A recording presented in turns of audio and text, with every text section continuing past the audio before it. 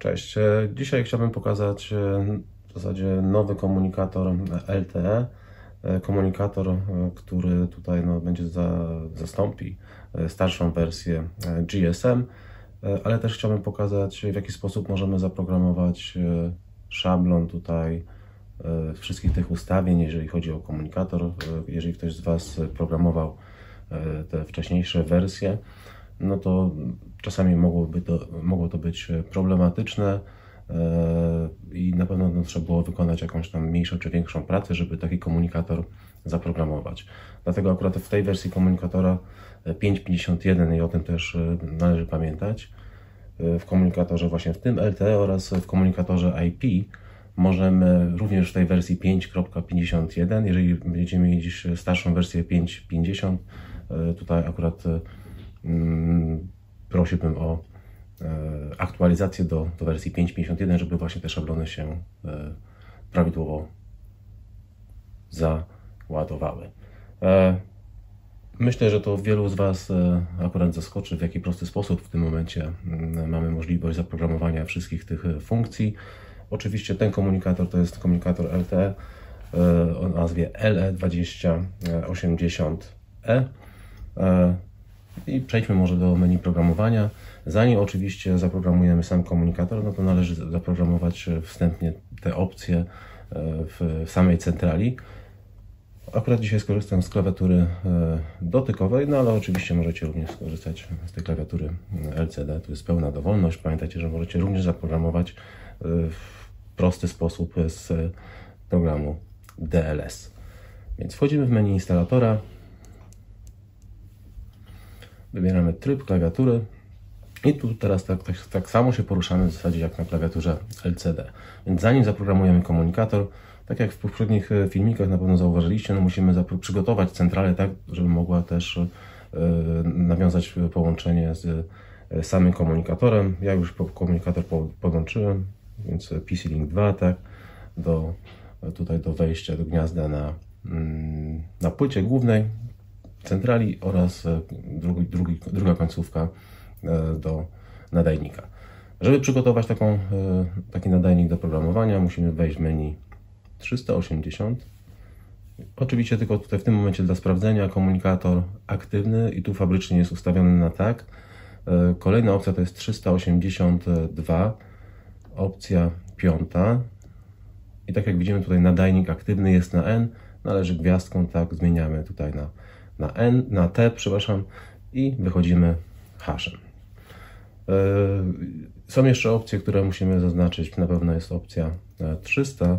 I tutaj musimy zaznaczyć odbiornik pierwszy, tak, i wybieramy tor komunikacji. W tym przypadku będzie to pierwszy nadajnik IP, e, GPRS, przepraszam. Wybieramy e, 05, pierwszy ten nadajnik GPRS, wychodzimy haszem. Jeszcze raz nacisnę hash.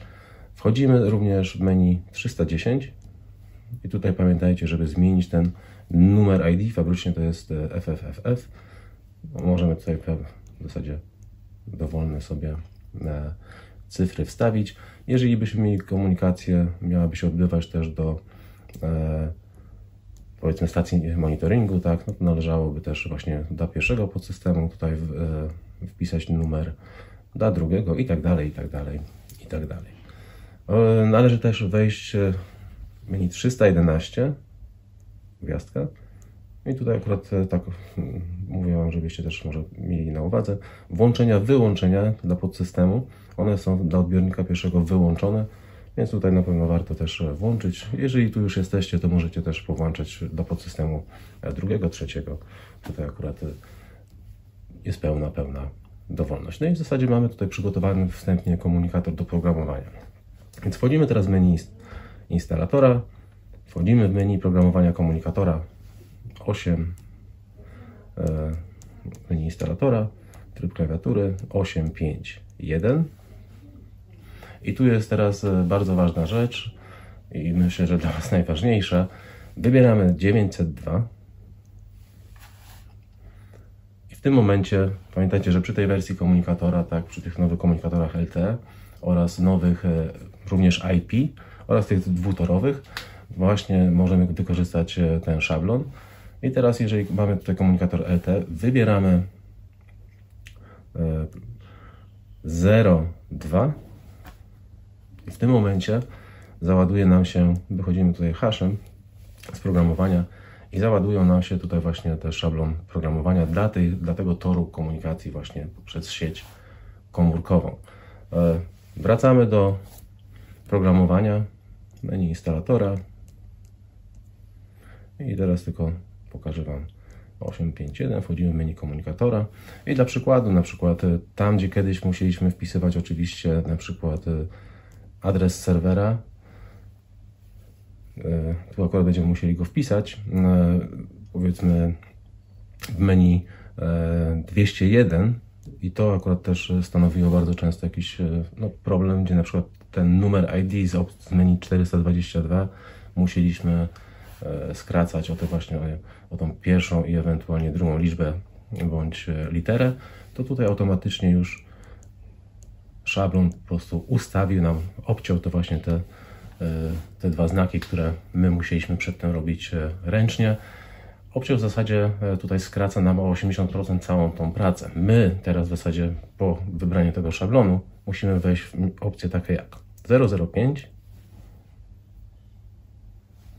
włączyć trójkę i czwórkę. Tu jest rodzaj nadzorowania, raz hash. Musimy wejść właśnie jeszcze w menu 200. Musimy, nie musimy. E, tu już jest ścieżka tor komunikacji wybrany poprzez właśnie e, tor komunikacji e, sieci komórkowej. Włączymy jeszcze dwójkę nadzorowanie. Wchodzimy w 205 i tutaj musimy wpisać APN. Każdy dostawca ma swój APN. Ja mam akurat tutaj kartę Playa i jest to, muszę wpisać internet, gwiazdkę, wybieram małe litery, strzałeczką w prawo, zmiana duże, małe, potwierdzam gwiazdką i wpisuję mój APN, więc tu jest akurat internet.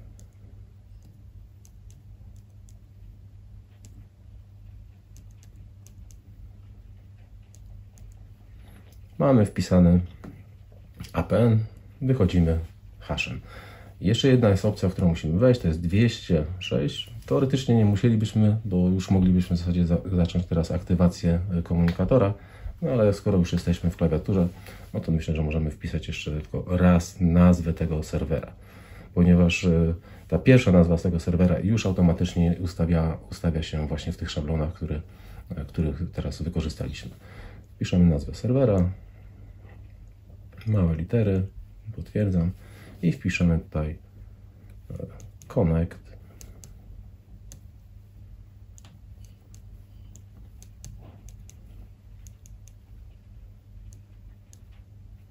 kropka, więc gwiazdka, strzałka w prawo, podaj znak gwiazdka. I pamiętajcie, macie to też na tych poprzednich filmikach, możemy strzałeczką w prawo przejść do gwiazdki, bądź jeżeli pamiętamy 0,46 gwiazdka, connect, kropka, tajko,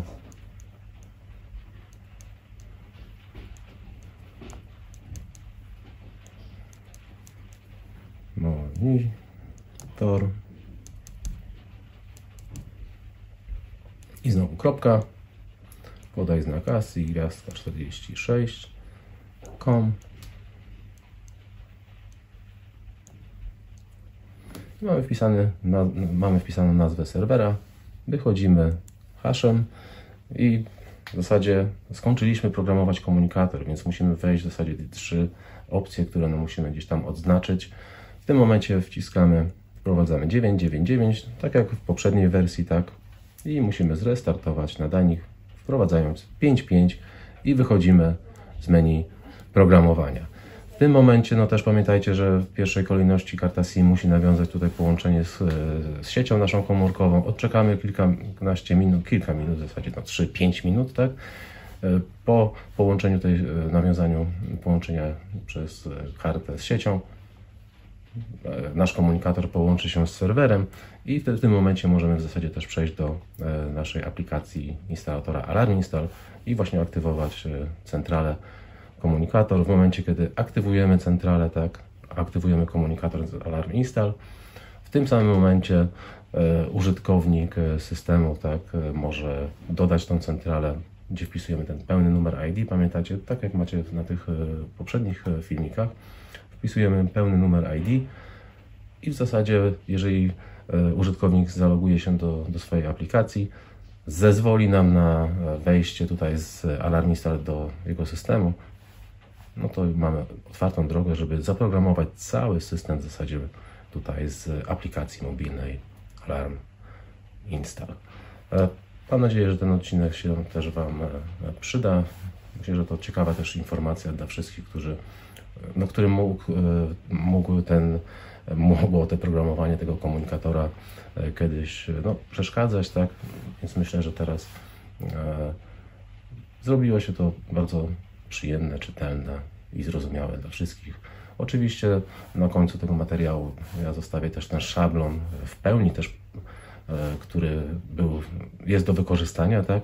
Gdybyście nie chcieli korzystać z szablonu, oczywiście możecie, e, tak jak robić to poprzednio, no, wykorzystać tutaj e, ten materiał, który będzie na końcu filmiku. Dziękuję za uwagę. Do usłyszenia.